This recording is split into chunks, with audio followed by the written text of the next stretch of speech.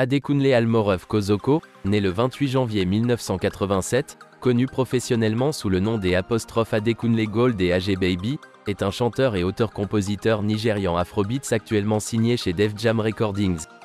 Il attire l'attention généralisée après avoir sorti le single Sad de 2015, une reprise high life de Story of My Life de One Direction. Il signe un contrat d'enregistrement avec YBNL Nation et sort son premier album Studio Gold en 2015, qui a fait ses débuts au numéro 7 du palmarès Billboard World Album. Gold a été précédé par la sortie de trois singles, Sad Orente et Pick Up.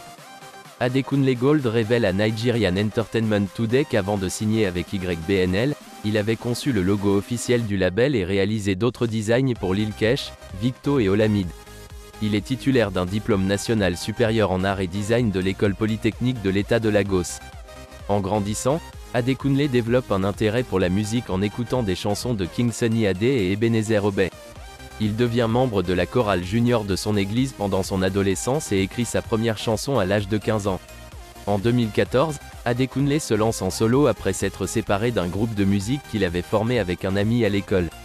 Il est surnommé le roi de Photoshop, après avoir publié une image Photoshop modifiée de lui étreignant Tiwa Savage sur les plateformes de médias sociaux.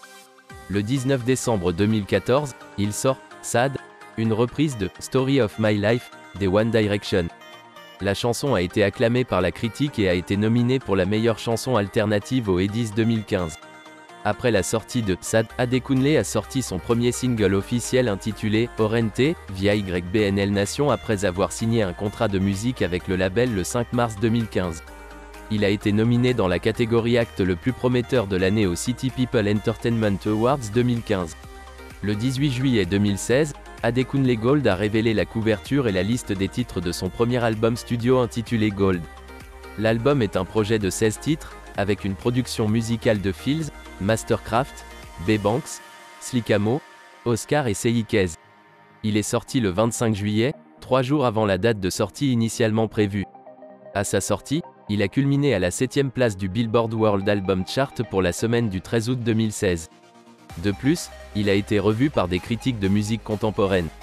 À la suite de son départ de YBNL Nation en raison de l'expiration de son contrat, Adekunle Gold a dévoilé son groupe, The 79TH Element, en référence au numéro atomique de l'or. Le 15 janvier 2018, Unity Bank a dévoilé Adekunle Gold comme ambassadeur de sa marque. Adekunle Gold sort son album très attendu, Afro Pop Vol 1, le 21 août 2020.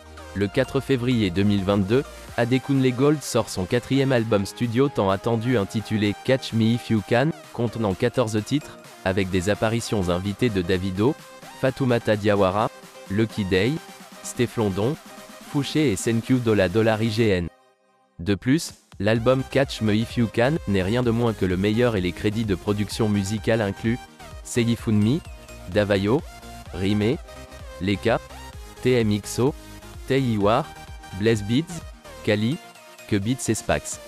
En mars 2023, Adekunle Gold signe avec Def Jam Recordings.